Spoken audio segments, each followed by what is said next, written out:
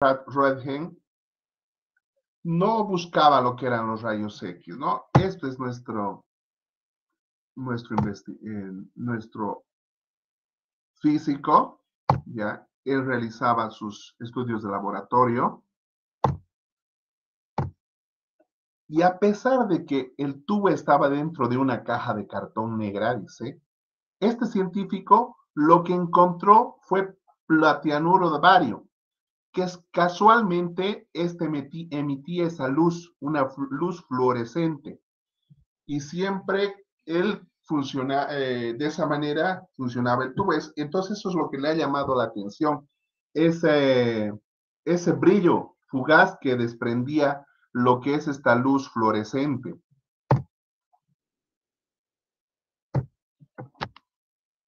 Después de esta ocasión, siguió experimentando, entonces decidió que la luz fluorescente se debía a una radiación invisible. Y efectivamente, como decía nuestra compañera, la esposa le colaboraba, porque una de las primeras radiografías que él hizo fue justamente a la mano de su esposa.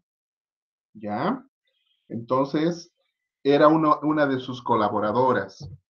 ¿Me están escuchando? Sí, doctor, perfectamente. Sí. Muy bien, muy bien. Fuerte y claro. Muy bien. Los rayos X.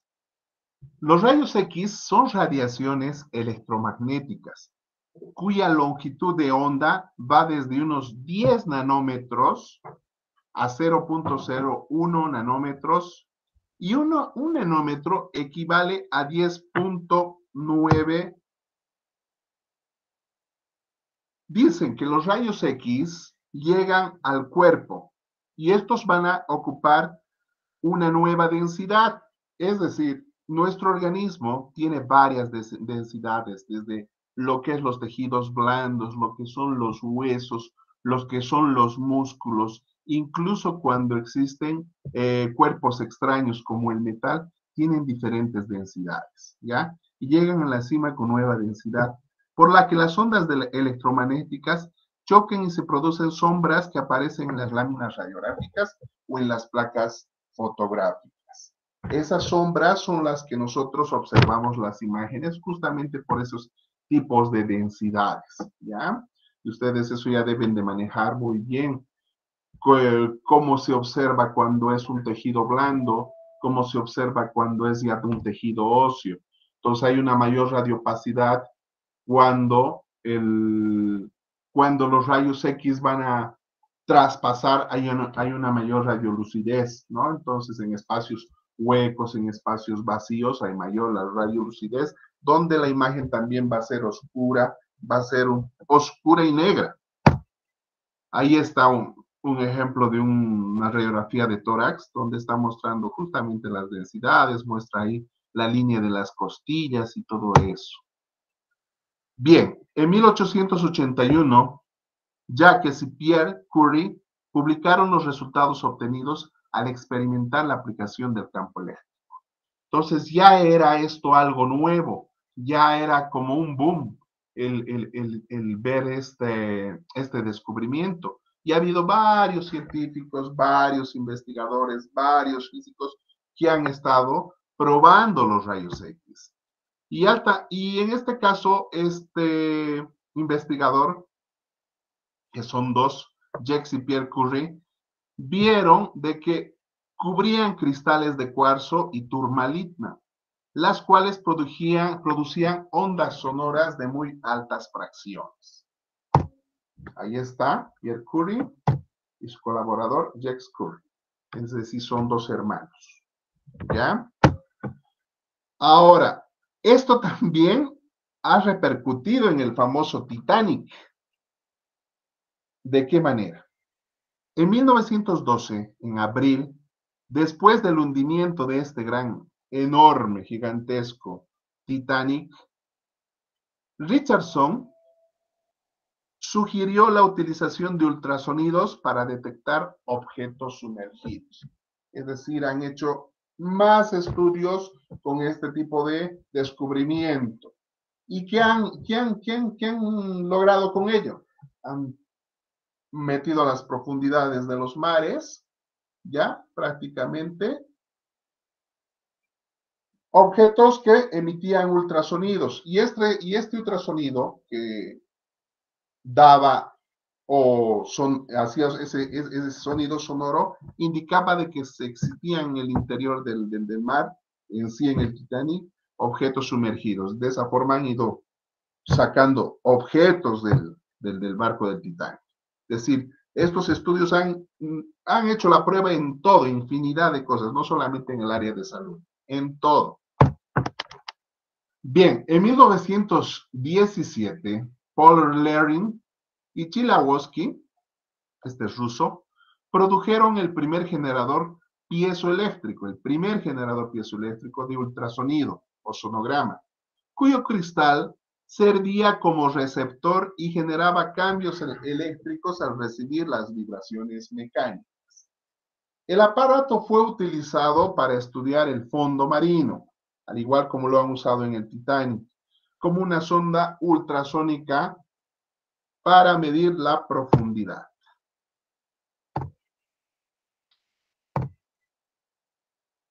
Ahí están los cristales.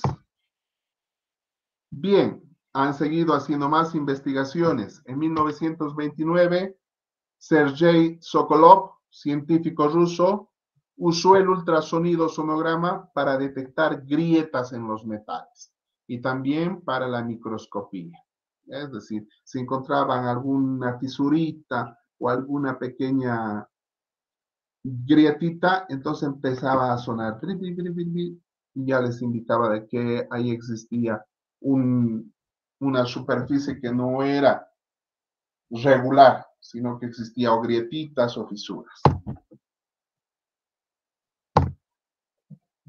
En 1942, Carl Daging, trabajando en, Austria, intentó detectar los tumores cerebrales, registrando el paso sónico a través del cráneo. Trató de identificar ventrículos midiendo la atenuación del ultrasonido a través del cráneo que denominó hipertomografía del cerebro. Y mirad, cómo vemos lo rústico de esta maquinaria, parece como si fuesen andamios, pero ya estaban ellos ya utilizando ya en el campo de la salud todo lo que era esta, este nuevo descubrimiento. Bien. Se dice que también en la Primera y parte de la Segunda Guerra Mundial han usado bastante las radiaciones. Mucho, mucho, mucho, especialmente en el campo de combate, todas aquellas personas que salían de baja por problemas de heridas, entonces ahí los han ido, han ido viendo todos los cuerpos extraños, balas, todo donde se localizaban para que los médicos puedan tratarlos en la guerra y las lesiones que tenían y todo ello. En 1947, el doctor Douglas Howry detectó estructuras de tejido suave al examinar los reflejos producidos por el ultrasonido o sonograma en diferentes interfaces. Ahí observamos, ¿no? Esas maquinarias tan rústicas, pero ya estaban siendo útiles para la salud, ya serían útiles para nuestra sociedad, podríamos decir.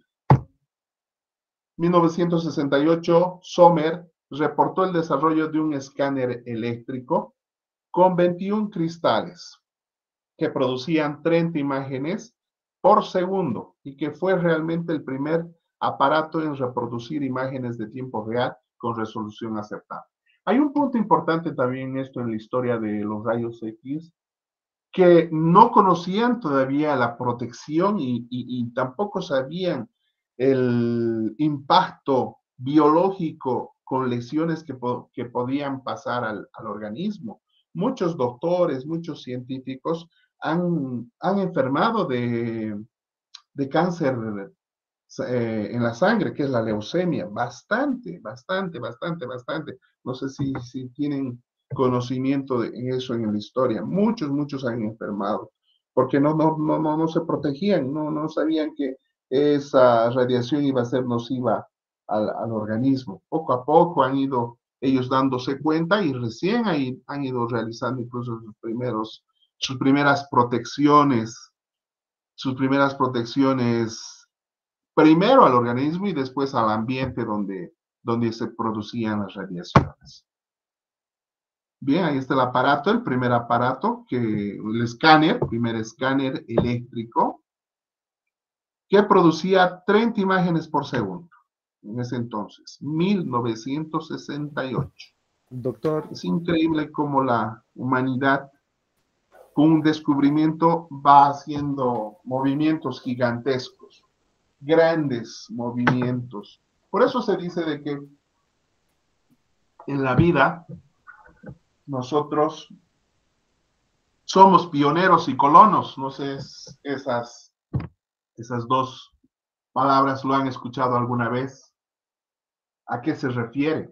Alguien, si sabe, nos puede compartir, nos puede decir por qué una persona es pionera y otra es colón. En el campo de la investigación, por ejemplo. ¿Quién se anima?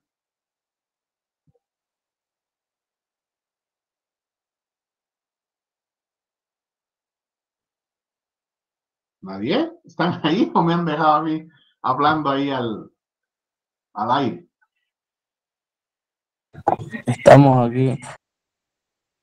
¿Están haciendo imaginación de cómo era en esa época?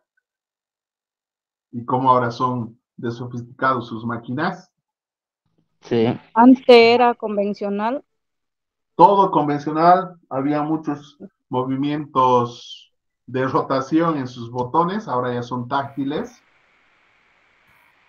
Había muchos aparatos que los eran pesados además, que tenían mover, moverlos de un lugar a otro, ahora no. Ahora es y, y eran a batería también, Doc. A batería también, efectivamente, no como ahora. Ahora son la mayor parte de la electricidad, si no me equivoco, ¿no? Doctor. Bien, y ahora, ¿alguien me podría decir esas dos palabras, ¿a qué se refiere uno en el campo científico? ¿Quién es pionero, quién es colón? Doctor Giovanni, ¿te habla? ¿Me escucha? Te escucho, Giovanni, perfectamente. Muy bien. Doctor, quería hacer una consulta fuera de la pregunta que nos realizó. Eh, durante varias diapositivas he estado viendo con detalle de que está hablando más de la ultrasonografía que de la... Sí, que de, la, de las... Efectivamente, es decir, que en el descubrimiento que han tenido de los rayos X, eh, han ido utilizando y en, en diferentes estructuras hacía como un ultrasonido al chocar con los aparatos. Y entonces ellos por eso, gracias a eso, han podido utilizar en, el hundimiento del Titanic para descubrir objetos y todo ello. Entonces han ido llevándolo a todo tipo de, situaciones. Cuando han descubierto esto, el mismo físico alemán iba radiografiando de todo, se radiografiaba lápiz, madera, de todo, de todo radiografiaban.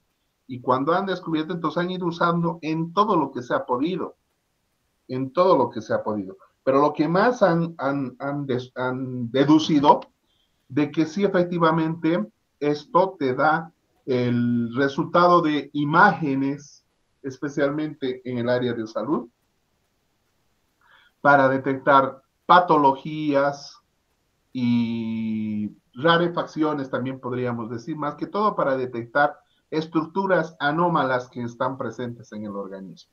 Pero todo eso a base de un montón de, pruebas, podríamos decir, que al final han, han, deducido esa situación y se han quedado ya con eso, ¿no? Los rayos X ya no se usan para, para otra situación, sino sea con fines de salud. Y eso ha ido mejorando, lo que son las tomografías y todo eso, ya van viendo de manera más amplia las imágenes, ya por áreas, por estructuras, por trozos y demás. Pero, como te digo, esto lo han utilizado en la Primera Guerra Mundial, lo han utilizado en la Segunda Guerra Mundial, justamente en aquellos pacientes que estaban de baja, pacientes que estaban eh, malheridos, donde los tomaban las radiografías y ahí observaban cuerpos extraños como las balas, algún proyectil, donde se, se, ha quedado el proyectil dentro del organismo, y de esa manera podían hacer cirugías eh, inmediatas, podríamos decir. Y también las lesiones, a qué nivel ha sido tal lesión. Entonces han ido ya utilizando de la mejor manera que han podido y se ha quedado los rayos X netamente como un, como un principal, podría decir, examen para cualquier diagnóstico, ¿no? Porque es un, examen complementario ideal, mucho más aún, no, no, no, no descarto los exámenes complementarios de sangre, hemoglobina, todo eso de laboratorio, que son buenos, pero el que te va a indicar y donde todo entra por la vista, ¿no? Donde uno observa, donde ve, siempre va a ser mayor la mayor el resultado, especialmente un diagnóstico, ¿no? Así, por esa razón. ¿Está respondida tu pregunta? Sí, doctor. Gracias. Muy bien, muy bien, muy bien, muy bien. Es como, les hablaba acerca de los pioneros y nadie me ha, me me ha respondido. Es como cuando una persona, por X motivo, ya sea por curiosidad, ya sea por oh, interés, descubre algo, esa persona siempre va a ser la principal y esa es la pionera, la primera persona que lo descubre. Pero detrás de estas personas ya hay los colonos, los que aprovechan lo que se ha descubierto, pero lo mejoran, podríamos decir, ¿no? Lo mejoran, esos son los colonos. Por eso es de que les decía, en el campo científico hay pioneros y colonos. En este caso, pionero es el alemán científico Röntgen, pero ya todos los más científicos, los demás investigadores han sido colonos, que ya han ido aprovechando lo que se ha, se ha descubierto y lo han ido llevando a todo tipo de, de campo, hasta que al final han dejado en el más útil y el más necesario. Entonces, esos son los, los pioneros y colonos. Nosotros deberíamos ser pioneros en algo. Algo tendríamos que tener la capacidad de descubrir. ¿Por qué a veces siempre nos es, yo digo, ¿no? Mayormente alemanes, eh, norteamericanos, japoneses son los que hacen grandes descubrimientos. Nosotros también tendríamos que hacer, tendríamos que ir. Y en la actualidad creo que los bolivianos ahora ya están entrándose más en el campo de eso, de ser pioneros. Ya han hecho coches, no sé si se han enterado, ya, ya hay elaboraciones de, autos aquí en, Bolivia, nada más que no existe mucha economía para poderlos ayudar o para que se puedan hacer grandes empresas como son los países desarrollados. Pero ya hay gente que innovadora que va siempre investigando y dando a conocer y saber más de y llevar su, su conocimiento, aparte de conocimiento, habilidad, porque también hay que tener habilidad, no solamente es conocimiento, hay que, tener, hay que ser habilosos en algo que uno realiza. Bien, continuamos. Röntgen trabajó siete semanas hasta que demostró la reproductibilidad de sus observaciones obteniendo la radiografía de la mano de su esposa. Eso es lo que eh, ya les había dicho. la primera radiografía que tuvo fue en la, mano de, de, la señora, que hasta el anillo sale, con un origen que era desconocido, no se observa el paso de los rayos X, pero el 28 de septiembre de 1825 se publica de manera oficial este descubrimiento, en 1825. Después se dedicó a experimentar otros materiales para determinar su absorción, su efecto y la reproducción de las imágenes.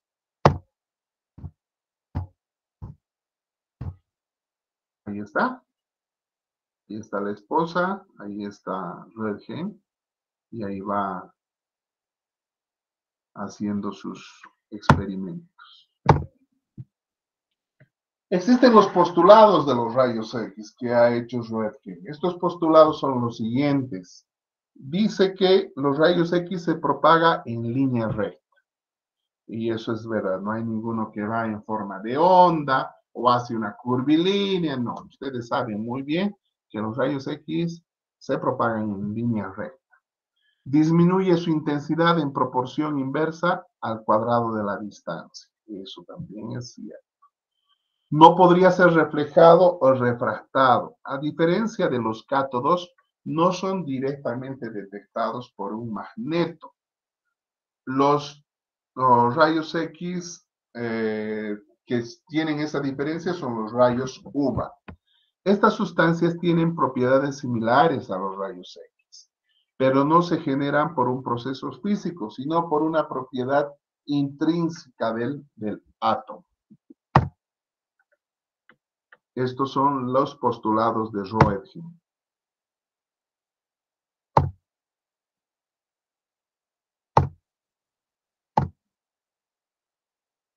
Mary Carey se casa con Pierre Curie y dan conceptos ya más adelante, en 1898, en el cual descubren el radio y el polonio. Reconocieron la radioactividad y su efecto determinó que en los seres humanos sus propiedades de estos dos elementos, el radio y el polonio, eran curativas. Entonces ya nos damos cuenta de que ya, como les decía, después del pionero vienen los colonos y estos van más investigando. Ahí están los esposos Mary, Mary Carey y Pierre Curie. Para obtener imágenes por rayos X, primero hay que generar los rayos y luego hacerlos interactuar con el paciente. El chasis y la placa radiográfica. Ya, eso ya ustedes saben excelentemente bien, mejor incluso que yo mismo. Están constantemente sacando radiografías y todo eso. Bien, ¿cuáles son los principios físicos? Se produce el principio físico por el choque de electrones emitidos por un cátodo contra los electrones del núcleo de los elementos del ánodo. Son el producto de transformación de la energía cinética de los electrones y la el área electromagnética, que serían los rayos X, en un porcentaje muy poco eficiente. El 99% es calor y el 1% es rayos X. Hay una gran cantidad de, de calor. Es decir, eh, dentro del tubo de rayos X, por eso existe un espacio donde eh, hace la manera de termostato, va a regular lo que es la, la temperatura y eso también lo saben bastante bien ustedes.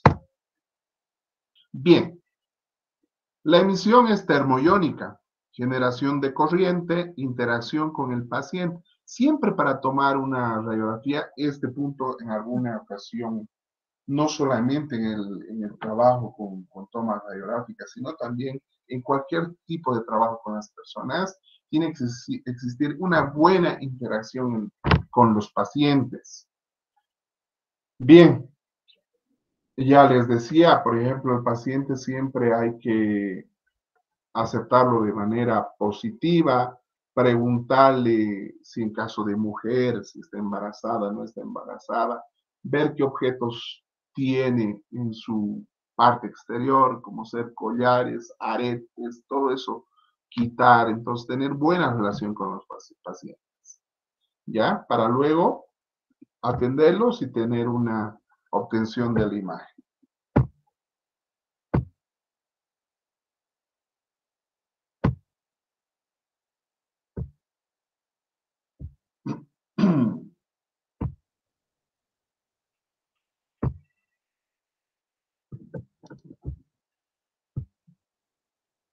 Bien, hay que tomar en cuenta también la distancia, el kilovoltaje, los, dispositivos de haz de rayos X, la rejilla, las pantallas intensificadoras y las películas. Todo eso también tenemos que ver entre los principios técnicos. Bien, para las interpretaciones eh, de las imágenes, lo más importante, les he dicho, es la observación, la preparación visual. ¿Qué es lo que vemos? ¿Qué es lo que observamos? Siempre tenemos que tener comparaciones de lo anormal y de lo normal. Lo anormal sería lo patológico y las características normales cuáles son y cuáles son las patológicas. Detectarlas, en qué área, por qué, al lado de qué órganos, qué tamaño tiene, qué forma tiene, todas esas características en cuanto a se, se viese alguna imagen patológica. Y percibir, ya una vez que hemos detectado imagen, imagenológicamente, es decir, la imagen que hemos visto, ya hay que orientar ya donde se ha detectado, por ejemplo, ya clínicamente. Ahora, existen borrosidades de acuerdo también a las tomas radiográficas. Estas borrosidades es la percepción de una imagen dependiendo fundamentalmente de los bordes y no de su área. Cuando los bordes no están nítidos, están difusos, difusos ahí indica que existe una borrosidad. Desde luego esa imagen no es no está clara y no es apta para llevarla para que lo, es, lo estudien como para diagnóstico. Entonces hay que tomar una nueva imagen hasta que tengamos la imagen de gran calidad. Nada se puede ver como un objeto hasta ser separado de su fondo, sin, importar el tamaño. Esto indica que la borrosidad sea el peor enemigo de los rayos X. Y eso lo saben ustedes bastante bien. Cuando no hay una imagen nítida, para nada se puede observar nada. Es gran enemigo de los rayos X. ¿Por qué se da la borrosidad? Por el movimiento. Hay pacientes que no se quedan quietos, especialmente cuando hay mucho dolor. Paciente que tiene un dolor intenso es muy difícil mantenerlo quieto. Entonces hay que transmitir seguridad en los pacientes.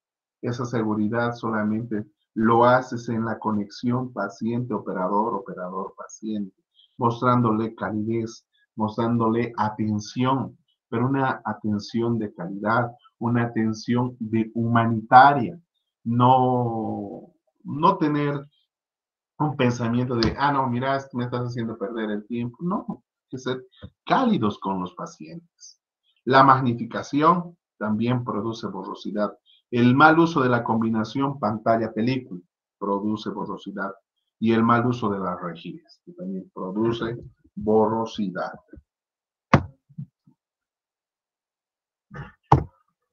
Complejidad. La percepción de cualquier imagen particular está imitada por la presencia de todas las otras imágenes en el campo visual. ¿Qué nos indica? Esto indica que una imagen hay más detalles que ver y existe más posibilidades de no percibir alguna. Es decir, una imagen no solamente te va a mostrar una, una sola cosa. Por ejemplo, una imagen radiográfica en odontología, aparte de, ver la estructura del diente, lo que es el esmalte, lo que es la dentina, lo que es el cemento de la raíz, la, lo que es la inserción del diente al alveolo, lo que es el ligamento periodontal, aparte de todos esos detalles de la estructura del diente, vas a poder observar la posición del diente. Si está recto, está inclinado, está chueco, está echado, está retenido. Hay, hay piezas dentarias que se encuentran retenidas dentro del hueso. Ahora, ¿qué relación tiene con los dientes vecinos? Ahora, aparte de ver sus lesiones, de repente tiene un proceso, un proceso infeccioso, una fístula. Entonces, esa fístula va a estar encapsulada con un borde bastante definido ya puedes decir incluso si es un molar, a qué nivel, a qué nivel del ápice de qué raíz, puedes decir en la raíz palatina, a nivel apical, hasta dónde abarca, hasta el tercio medio. Entonces, no solamente vas a ver una sola imagen, vas a ver varias características en una imagen. Les he dado un ejemplo de una imagen eh, a nivel de dentario. Lo mismo puede pasar en una imagen a nivel ya más abdomen, a nivel torácico. Entonces, no solamente se encapsula en una sola imagen, sino existe variedad de imágenes o variedad de características que tienen.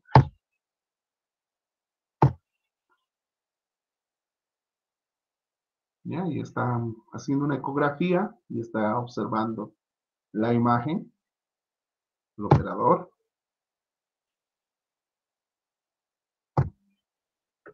¿Quién interpreta una imagen y debe de tener un orden mental establecido? La placa tiene un centro y cuatro esquinas. Eso también tenemos que tomar en cuenta. Para colocar una imagen, por ejemplo, intra, intraoral, cada placa radiográfica tiene en su extremo superior un punto de referencia.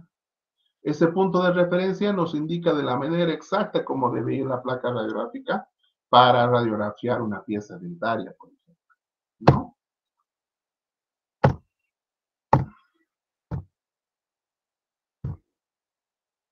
tenemos un ejemplo de radiografía de tórax y una radiografía periapical intraoral dentaria.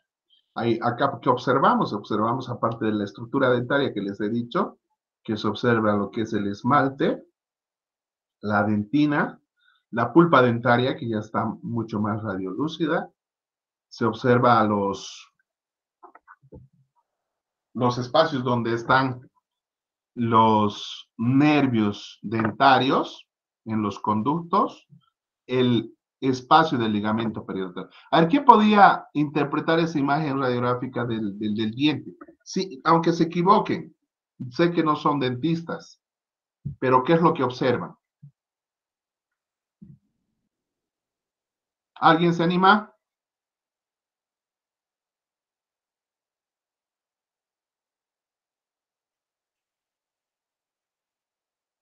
¿Están ahí?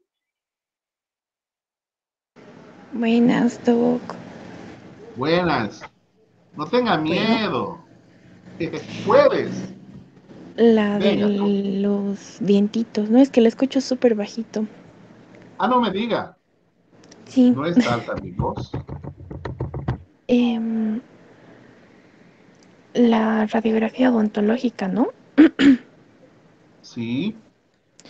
Eh, ok, es una radiografía periapical se observan los tres molares, se observa los tres dientes eh, completos, es decir, la corona y las raíces, los ápices Muy bien.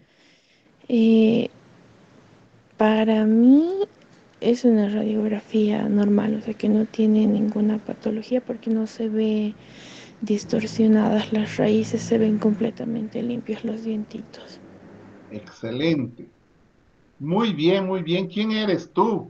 Ya empiezo a anotar a mis participantes. Andrea Maldonado. ¿Nombre? Andrea Maldonado. Andrea Maldonado. Muy bien, Andreita. ¿Quién da más? ¿Quién más? ¿Qué más pueden ver? Voluntarios, ¿saben qué? Puntúo y califico sus participaciones asistencia, tareas y desde luego los exámenes. Venga, ¿quién más? A mí me gusta siempre que participen.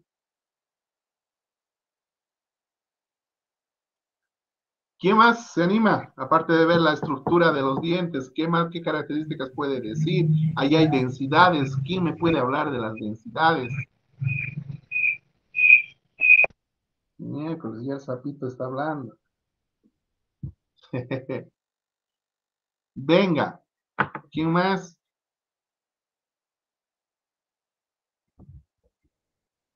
O les digo al azar. Se observa, doctor, que los dientes están bien. Eh, sí.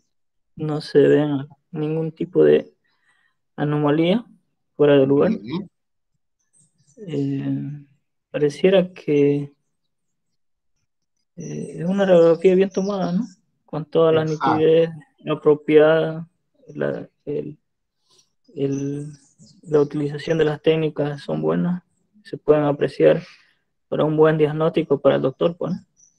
Excelente. Efectivamente, en este caso vemos de que este tipo de radiografía, especialmente que el que estamos viendo que es el periapical, es normal. Esas piezas ninguna tiene ningún tipo de patología, Ahora, la toma radiográfica está bien, se observa hasta los trabeculados óseos, se observa bien el espacio del ligamento periodontal, las raíces se observan nítidas, bien, sin ninguna sin ningún proceso infeccioso.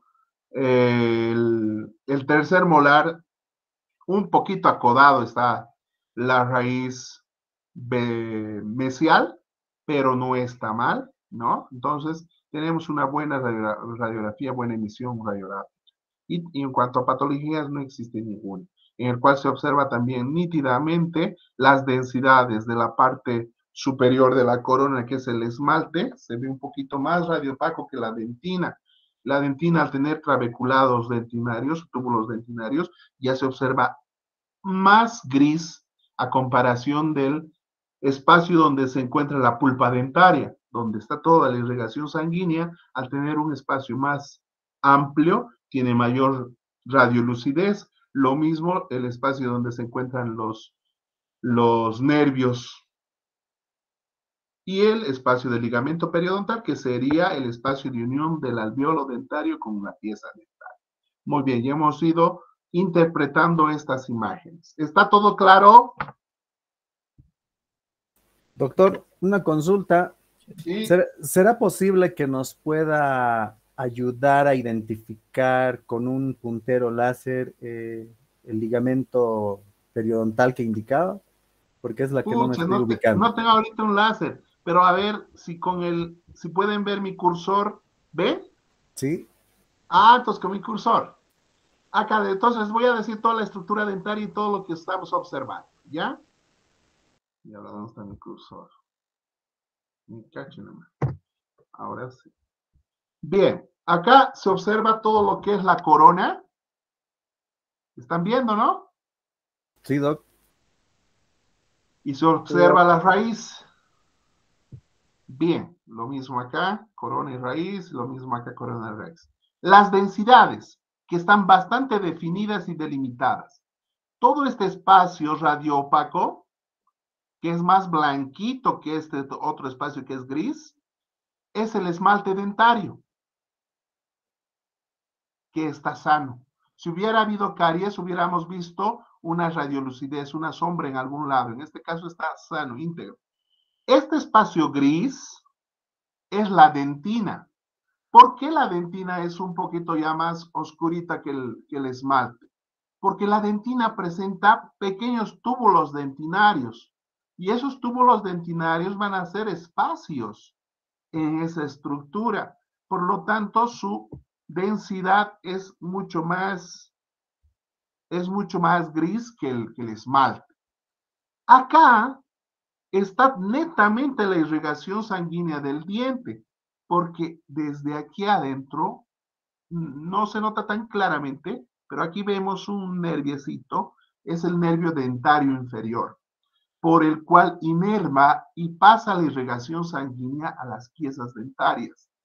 Y esa está en relación con el nervio del diente. Este es el nervio. Cuando hacen tratamiento de conductos, y ha afectado la caries hasta la pulpa dentaria, que es esto, ahí es donde se tiene que quitar estos nervios. Desde luego va a caer, va a salir la pulpa dentaria y va a salir todo lo que son los nervios.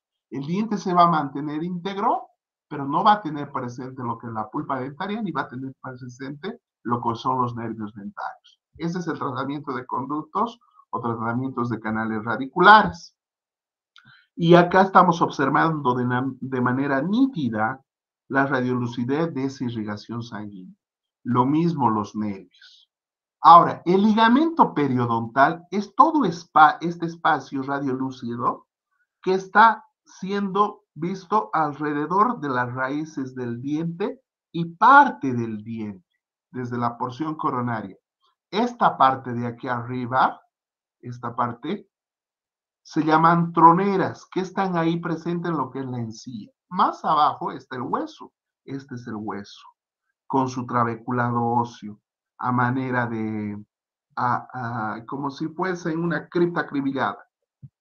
Entonces nota bastante bien, es, es, es, notorio este trabeculado óseo. ¿Ya? Todo, toda esta es la estructura del diente.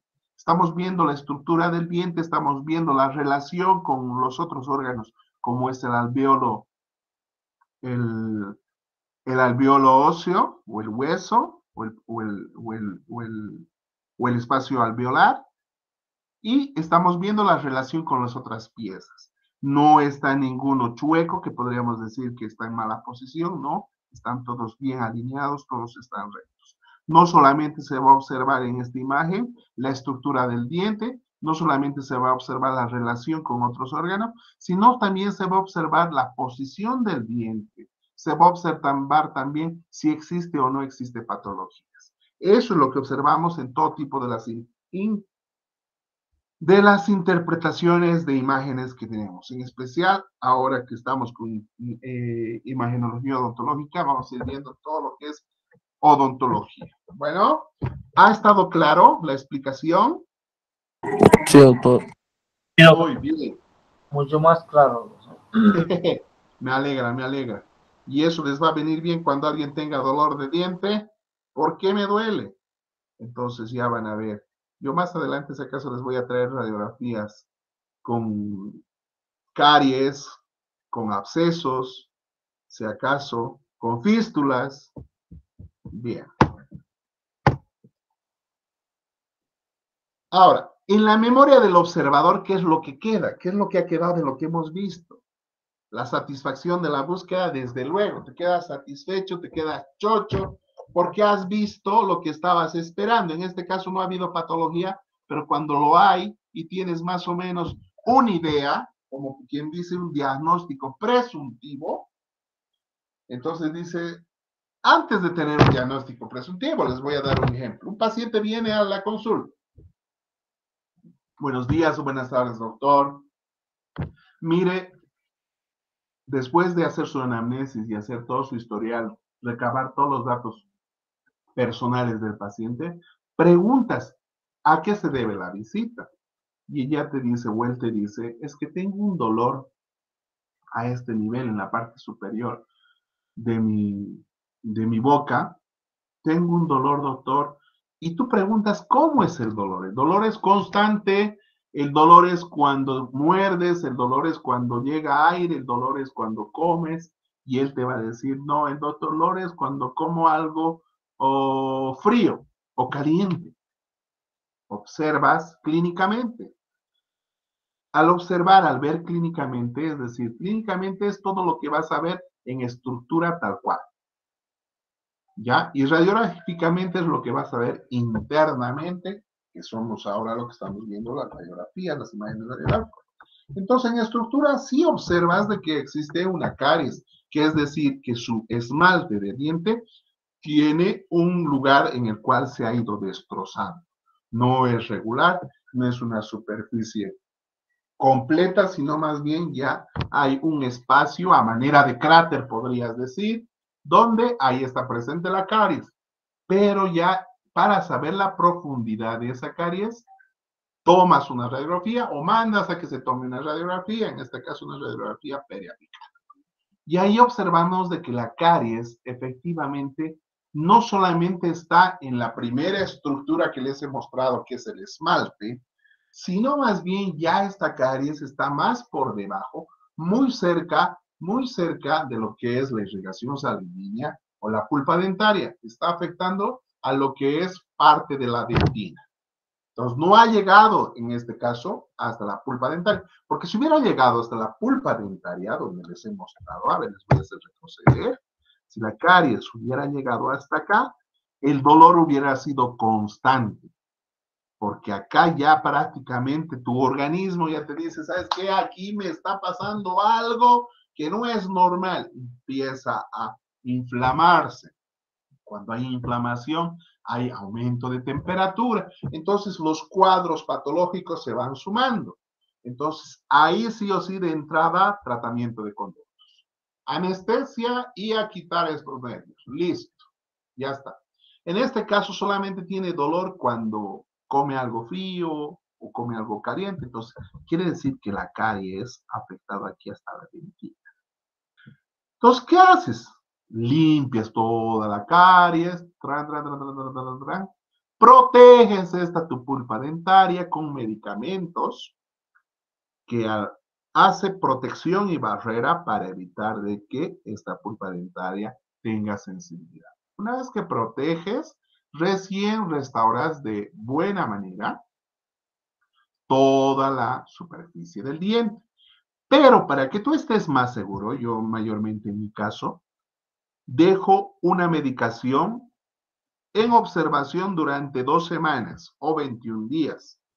Si esa molestia en ese tiempo continúa y existe dolor aún, cuando muerde, cuando come, eso me indica de que por más de que no haya llegado a la pulpa dentaria, ya está afectándome totalmente ya la pulpa dentaria. Es decir, si yo lo tapase inmediatamente y le digo, no, no ha llegado, pero, pero no se preocupe, le vamos a proteger y demás, y yo lo tapo y se va. Y a la noche llega nuevamente y me dice, se quedó dolor, el, doctor, el dolor continúa, me sigue doliendo. Entonces, si yo como cometo para mí, ¿no? Yo pienso el error de, por dinero ese ratito, no se preocupe, vamos a proteger, vamos a taparlo. Por dinero, mayormente todos en nuestra cabeza está la parte económica y no, no la parte protocolar en condiciones que se realiza. Entonces, o cometo ese error. Pero si trabajo de manera protocolar, de manera consciente, entonces, ¿qué digo? Es profunda esta caries. Aparentemente no ha llegado hasta la pulpa dental, pero haremos la prueba dejando medicación y un, y un material provisional durante dos semanas o 21 días. Si a la paciente no le molesta nada, no le duele para nada, en su regreso de ese tiempo, viene y le dice, ¿cómo le ha ido? ¿Ha continuado el dolor? No, doctor, sabe que no me duele nada, no me ha molestado ni nada. Entonces, incluso hay medicamentos que forman dentina secundaria. Como esto es dentina, hay medicamentos que forman otra dentina de protección y hace de que protejan a la pulpa. Entonces, si no la ha dolido y ha formado dentina de secundaria o de reparación, entonces, recién, tranquilo, restauro toda la pieza dentaria y esa paciente se va y no le va a doler. Pero si me dice lo contrario, sí, doctor, ¿sabe qué? A la semana ha continuado las molestias. He dejado pasar, como usted me dijo, dos semanas, esta semana más y continúa la molestia, por eso he venido. Ah, entonces, mire, señora, pesa lo que hemos puesto la medicación y le sigue doliendo, eso indica de que sí o sí hay un espacio donde está en comunicación con la pulpa dentaria, tenemos que hacer tratamiento de conductos. Entonces se entra tal cual, se estirpa los nervios, se quita lo que es la pulpa dentaria y se hace lo que es el tratamiento de conductos. Ese es un ejemplo en el cual nosotros tenemos que tener siempre presentes en cualquier tipo de tratamiento. Ya, pues les decía, en la memoria va a estar la satisfacción de la búsqueda.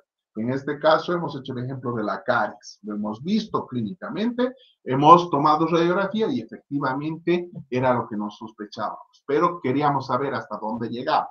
Entonces ahí hemos quedado satisfechos con esa idea. Y teníamos al final como resultado el diagnóstico definitivo. Atracción de una anormalidad sobre una rompiendo el patrón. Es decir, siempre tenemos que ver lo que es la diferencia en lo normal y lo patológico. Si lo normal es lo que hemos mostrado hace un rato, donde la estructura del diente está intacta, toda la parte superficial que es el esmalte, está radiopaco. Más abajo la dentina, un poquito gris, no hay ningún espacio donde muestra algo diferente.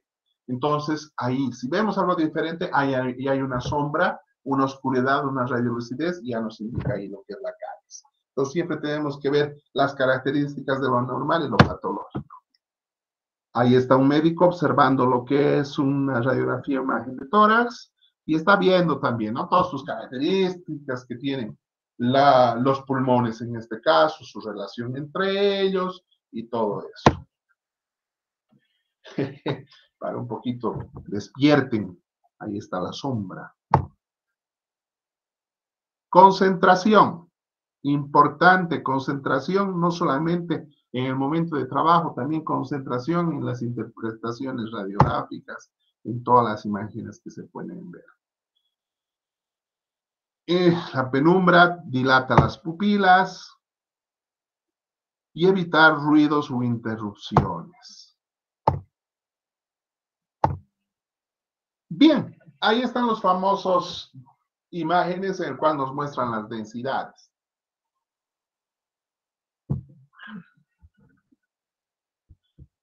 es radio denso o radio opaco, el color va a ser blanco, especialmente en el metal.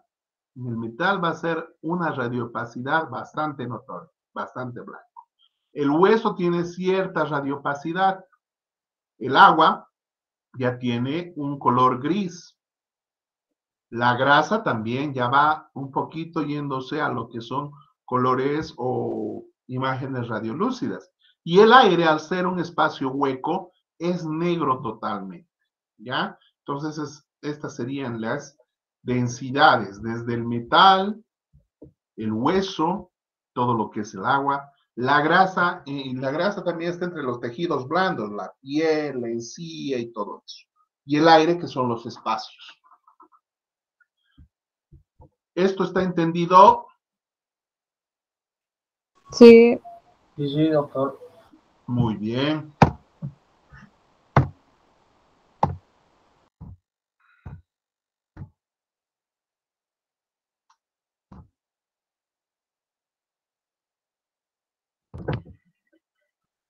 Aquí no es polo costosa, es poco costosa. Ya, obtenciones rápidas de las imágenes, poco costosa. Estudio inició en la, en la mayoría de las enfermedades. Esas son las características que, que tienen las imágenes, ¿no? Las radiografías. Con los equipos portátiles se puede obviar el desplazamiento del paciente, claro. Cuando una persona tiene un equipo portátil lo puede llevar a todo lado, entonces evitamos de que el paciente vaya al, laboratorio, por ejemplo. Se puede hacer controles intraoperatorios. En ese caso que les he dicho, cuando una caries es profunda y ha afectado la dentidad, entonces se puede realizar el control durante los 21 días tomando también una radiografía.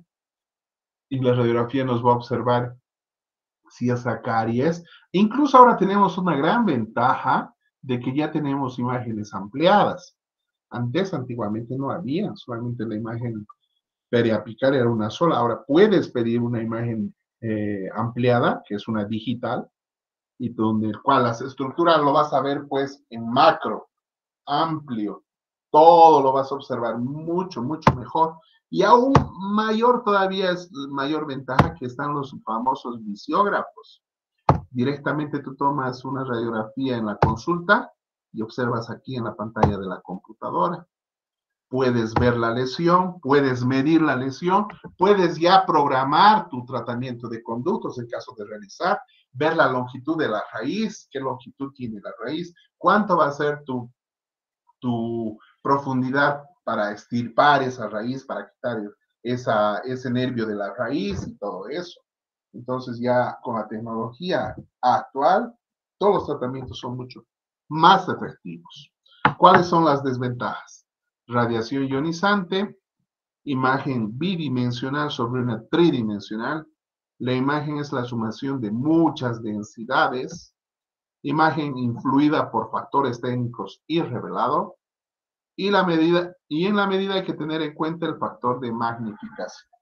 Pero para eso tenemos que tener en cuenta siempre las densidades. Saber qué áreas tienen diferentes eh, colores, podríamos decir, en cuanto a las densidades, ¿no? ¿Qué es un átomo? Átomo son, es una partícula súper pequeña. Son partículas extremadamente pequeñas referentes a un mismo elemento. Está formado por qué? Formado por un núcleo, formado por protones, formado por neutrones y formado por orbitales y electrones. Bien, quisiera antes de empezar con esto del átomo, que me haga un trabajito, un trabajito individual y me van a socializar. Que hasta ahora hemos ido avanzando parte de lo que es la, mm, la historia de, de los rayos X.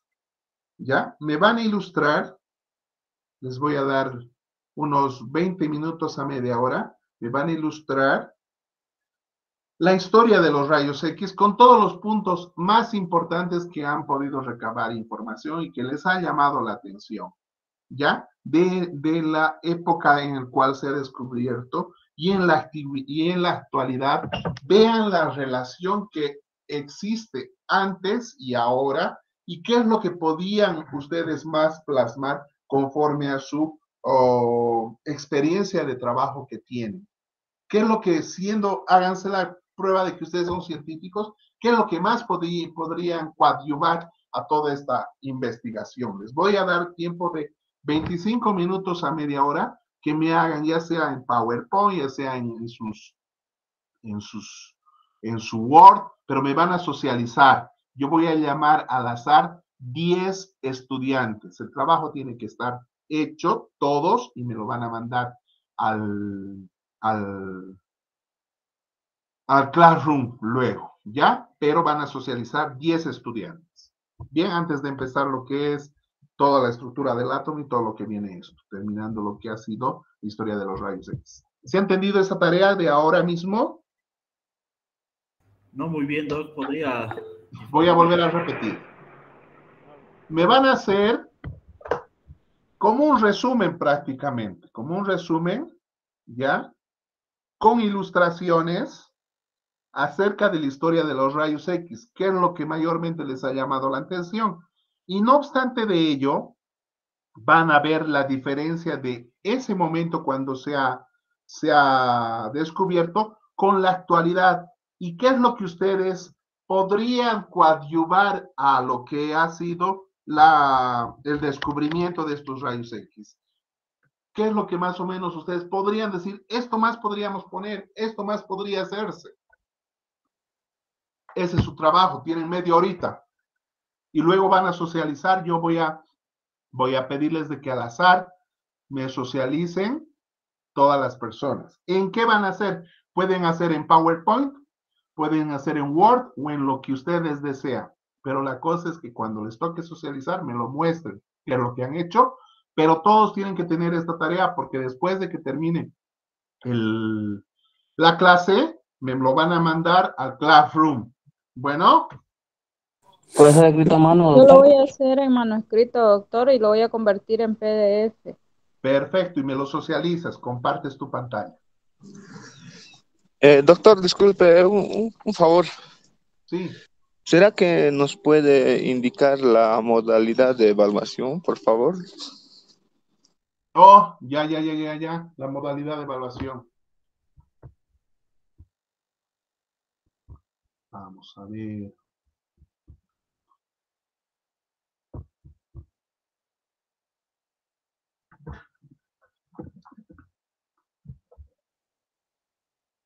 Mientras tanto, ya pueden ir haciendo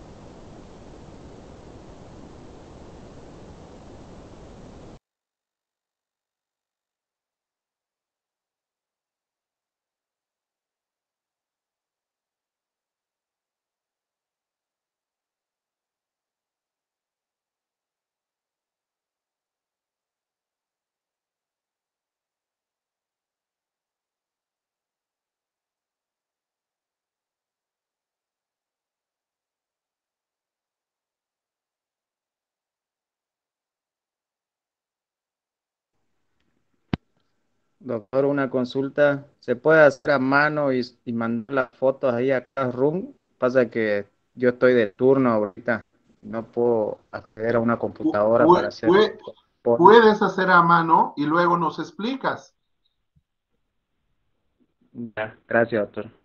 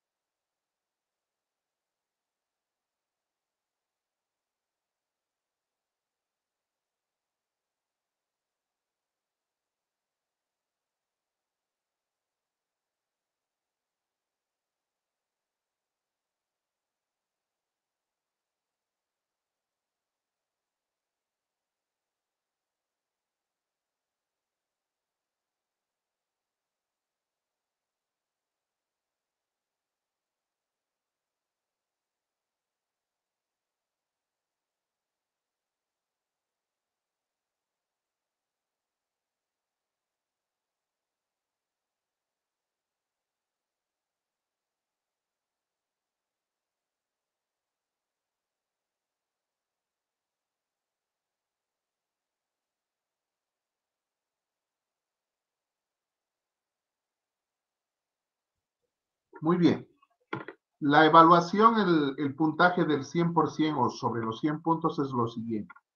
Los trabajos en clases, como este que les estoy dando, valen 15 puntos. Cada clase siempre va a haber trabajos. La asistencia vale 10 puntos. Participación también tiene puntuación, vale 10 puntos. Las tareas que se les da para la casa, para la subsiguiente clase, valen 25 puntos y el examen final les va a dar un, un valor de 40 puntos. Todo eso total hace 100 puntos, que es el 100%. Bueno.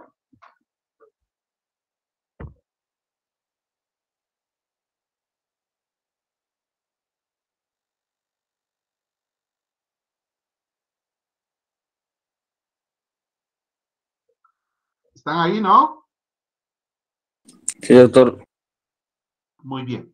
Ya, entonces empiecen a hacer, estamos prácticamente a 10 y media, 32 hasta las 11 vayan haciendo y luego vamos a socializar y continuamos con el tema y luego les voy a dar su tarea y ahí ya hasta la subsiguiente clase. Bueno. Doctor, una duda. Un, un, resumen, ¿no? Un resumen de lo que hemos visto hasta, hasta hoy. Más aparte de del resumen. De, de y aparte, y aparte del resumen, con la actualidad, una diferencia y si qué es lo que tú podrías, podemos mejorar. Exacto, ¿cómo sí, podrías mejorar? ¿Qué podrías llevar a las mejoras? Eso, muy bien. Listo, doctor. Gracias.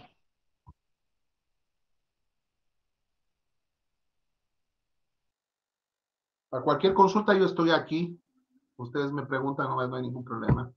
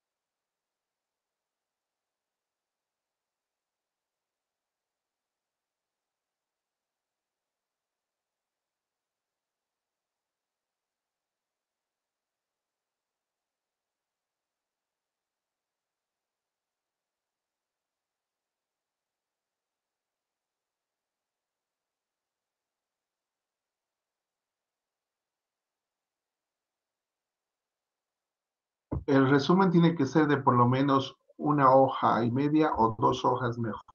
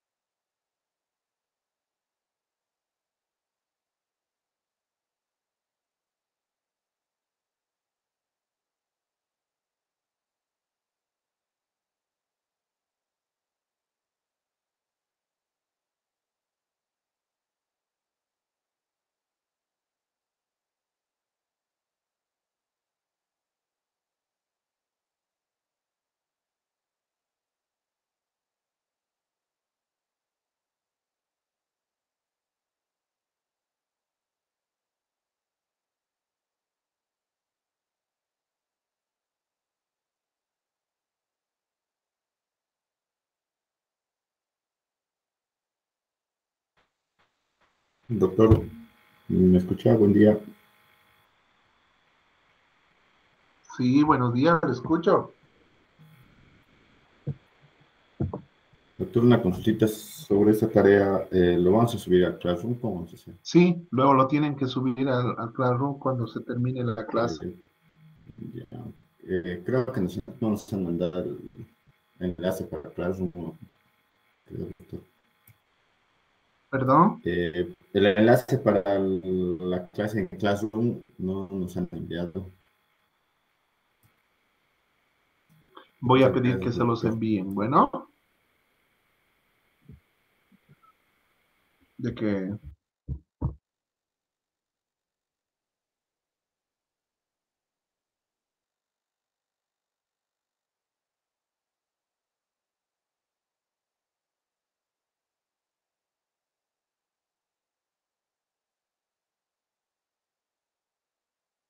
Disculpe, doctor, el trabajo es una ilustración gráfica, ¿verdad?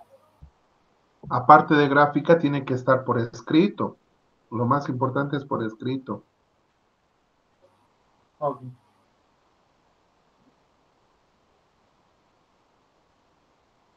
Tiene que ser de dos hojas o una plana y media.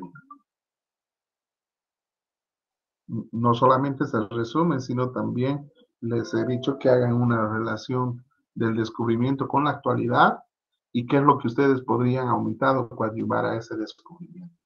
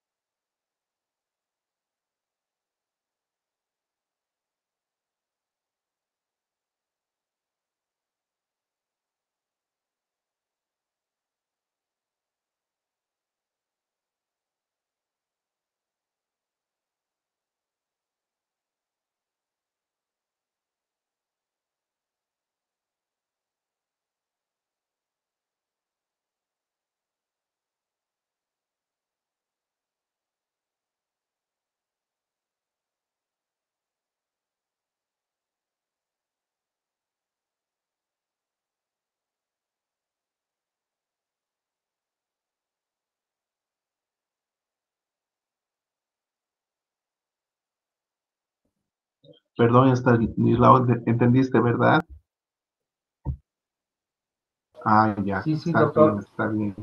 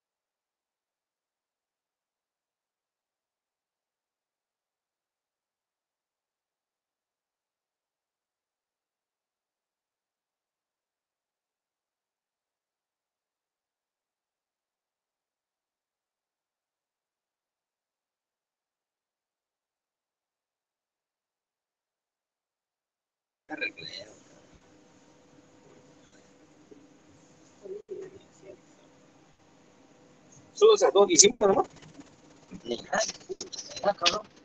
Otra vez reclamé el banco. Alfredo, tu audio, por favor.